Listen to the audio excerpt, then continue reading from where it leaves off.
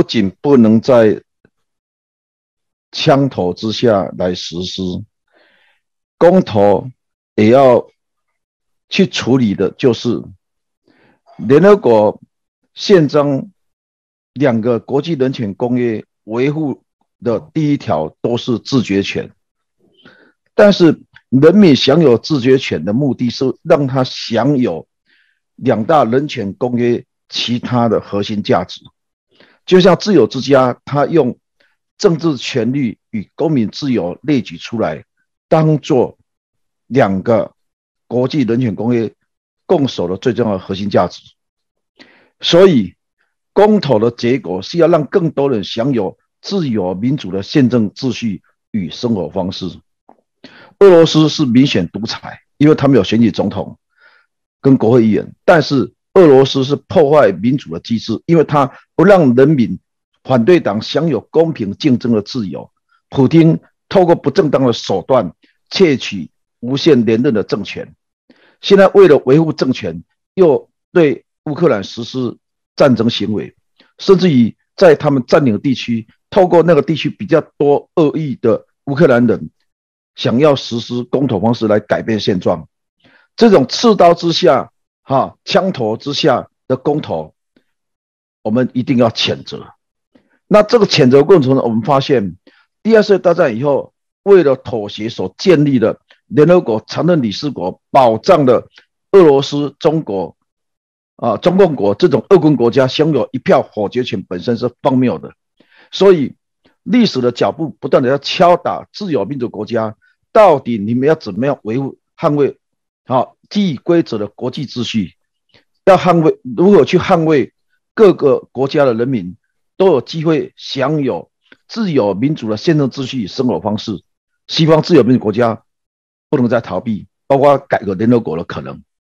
必要的时候要组建自由民主联盟，来让联合国的功能降低、消失。不要让中共、俄罗斯能够在联合国一个畸形的不正当的机制之下，荒谬的演出，大家对他束手无策。另外呢？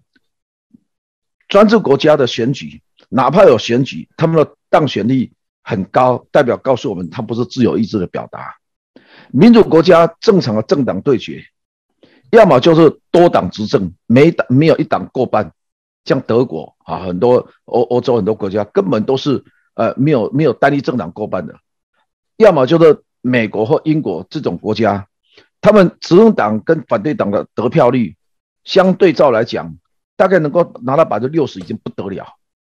那么，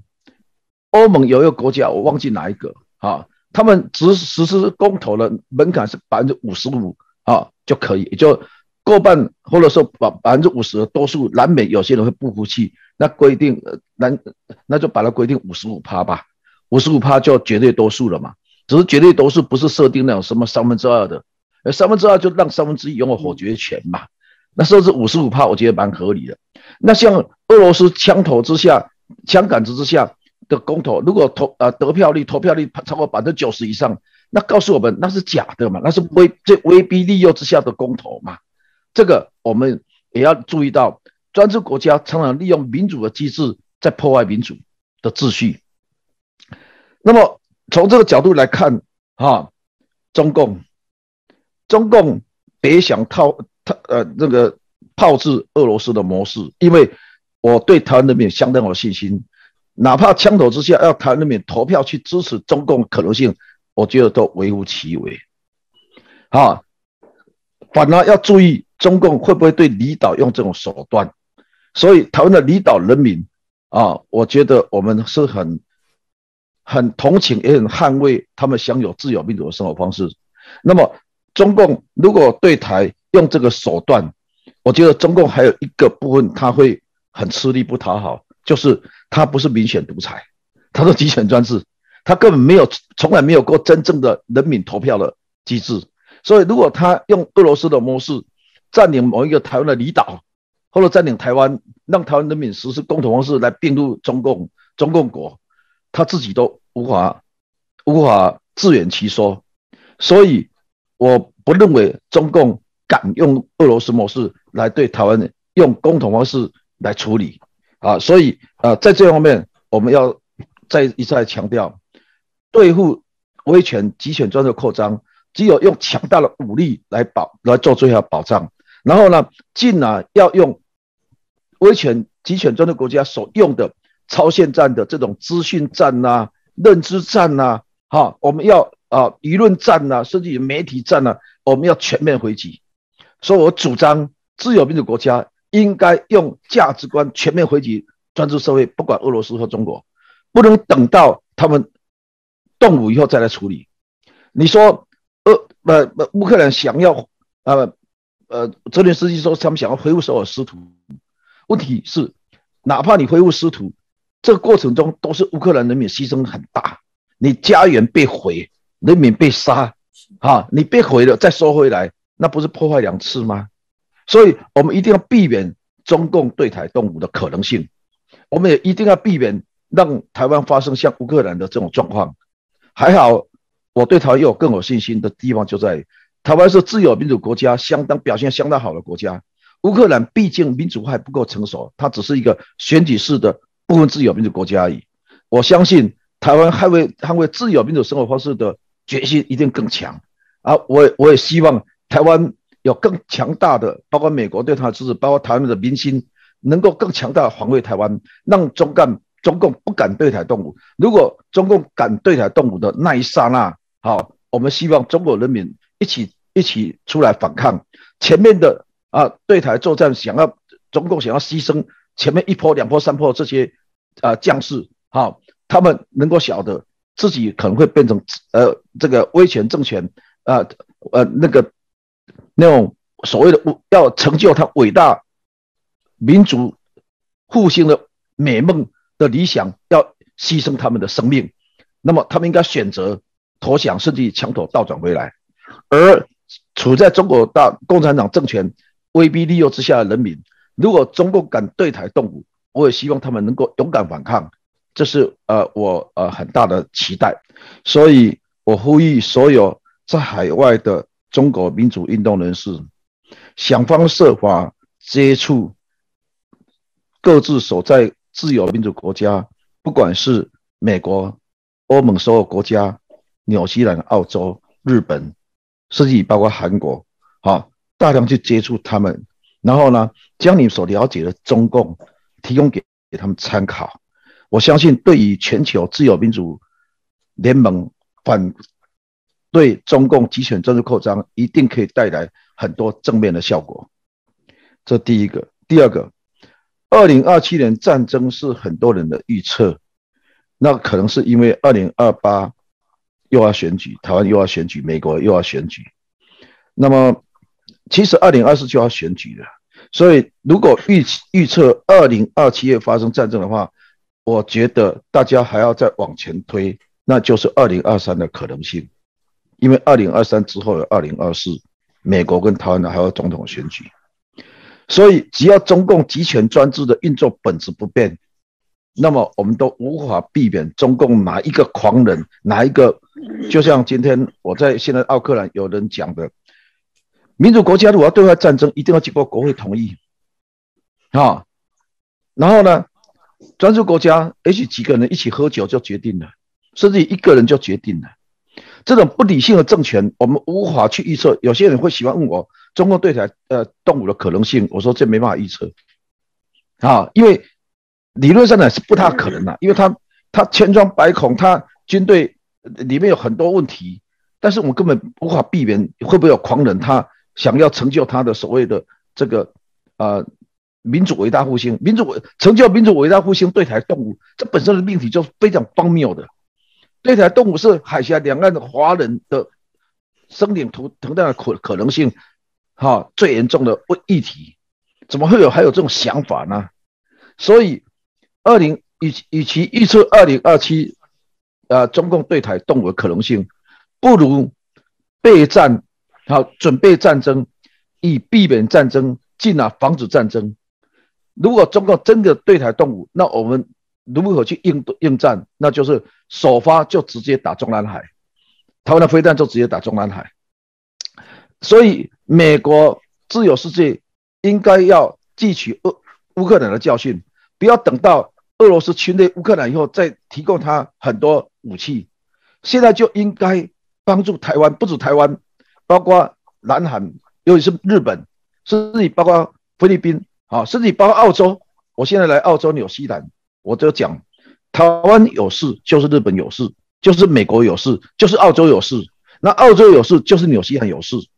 所有自由民主国家都都无法逃避这样一个战争的后果，哪怕没有战争，中共的这种舆论舆论战、宣传战。资讯战，哈，认知战、资讯战已经在悄悄进行了，无声的战争已经在悄悄进行了。我在我现在在纽西兰，他们也看到纽西兰现在工党政府受到中共的这种呃威胁利诱，然后然后他们太天真，因为他们他们处在一个太太好的状况，不管自然环境，不管生活条件都是非常好的情情况之下，真的太单纯了啊！在自由之家上所标举出。对，他们是受到中共媒体影响最大的国家，但也是也是抵抗力然后反制力最大的国家。美国是都是第二，受到媒体影响第二，但是反制力第二。澳洲没有受到这么大影响，他们呢已经觉醒，他们反对反那个反抗力量很大，抵制的力量很大。那乌克兰啊，不是乌克兰，那个澳呃那个现在我所在的新西兰，他们因为国家哈这个。对中共的渗透，让这些自由民主人人士，包括我今天讲座的时候，今天我们在讨论议题的时候，有几个澳洲当地的白人特别提到说，他们现在政府本身被腐化的状况。所以我觉得这种情况之下呢，我们不能说因为讲说二零二七，然后前面就松懈了，而是中共既然已经亮剑，中共既然已经露出了獠牙，我们无法避免在中共集权专制。进体制没有变迁以前，他不会随手啊露出獠牙，所以我们怎么准备啊应付他们的挑战？放之后的中国不从事政治改革，那就是利用西方建立的市场经济，哈，基于个人自由、尊重个人自由、尊重私人企业、尊重契约精神的资本主义精神、资本主义去发展它。党国资本主义在利用搜刮人民的财产，啊，就是说一般国家人民劳动可以拿到那个国家正常的是四十五到五十五之间的薪水，但是中国大陆的劳工只拿到不到百分之二十，甚至不到百分之十的那个整个产品的那个钱，所以中国剥夺了大量劳工。劳动成果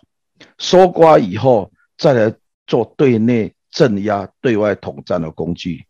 所以，他提供给台湾的不仅是艺人，而是非常多的人一个啊笼络他们、收买他们的一种手段，就是金钱。那么，这种通过这样一个很大市场累积的这种金钱的笼络，它是有效的。而艺人是最容易被。曝光宣传的，因为艺人本身就是洞见观瞻，其他人如果被收买，他可能静悄悄进行，回到台湾，透过庙会，透过啊民间组织社团，或透或者是透过政党人士哈企业来运作，比较不会被曝光。但是艺人很容易就曝光，说啊他们现在支持什么支持谁啊，然后啊操弄民主主义。在这种情况之下呢，啊艺人他。只是个很多被中共收买，不得不去讲中共爱听的话的一群人，只是因为他是艺人，所以曝光比较容易曝光，大家知道。但是纵然他们去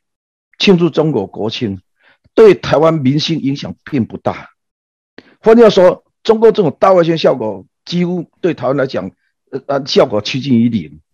对于中共要和平统一台湾或武统台统一台湾，效果可以说起的。作用微乎其微，但是它起了什么作用？它起的作用是中国对大内宣，还是大内宣为了统治中国大陆那些被移民的老百姓，让他们以为说啊，台湾很多人也是支持一个中国，所以中共这种对外的大大外宣，然后的统战，他的目标还是维系共产党政权，然后中国人民被骗得傻傻的，所以艺人这样的宣誓。对台湾影响不大，但是对中国大陆同胞，对中国大陆被欺骗的十几亿人人的那种那个心心灵，他是被他是被污染、被欺骗的。就像香港反送中的时候，一百万、两百万站出来，中国大陆连学者都不知道。但是等到中共啊采用呃黑道黑帮来制造暴动，来抓他们的时候，再把他污蔑说香港人在闹独立，在闹暴动，所以呃中共军警镇压维护秩序是正当的，这是他们操作手法。那么这种操作手法既有对内有用啊，对外大家都知道中共犯的反的呃呃黄忠义教授讲的反人类罪啊，哈，这种政权根本就是一个本身就是犯罪集团呐。哈，他对香港打压，对很多地方，包括新疆、包括西藏、包括法轮功也好，哈，那个维权律师也好，这些打压都是利用反恐的名义，自己就是国家恐怖主义。所以我说，中共这一切做法，最后都是为了内宣，为了加强统治，为了维系政权的工具。但是纵然如此，我还是赞成，我呼吁呼吁刚才冯教授所讲的，台湾的艺人。应该要想清楚，哪一天你这些记录都会在历史留下来。哪一天中共政权变更，哪一天中共政权会倒台，而你的名声就已经被搞臭，你的名声就已已经变成一个没有灵魂的艺人。你是一个呃呃，只是通过一个美丽的脸孔获取利益的一个艺人，而不是一个有精神内涵、有道德底线、有价值理想的一个真正的作为一个人的一个。啊，神圣的作为一个人的一个道德底线，作为一个人的有一个精神信仰的一种啊，有有道德有价值，重视真相，重视真善美的人。好，谢谢。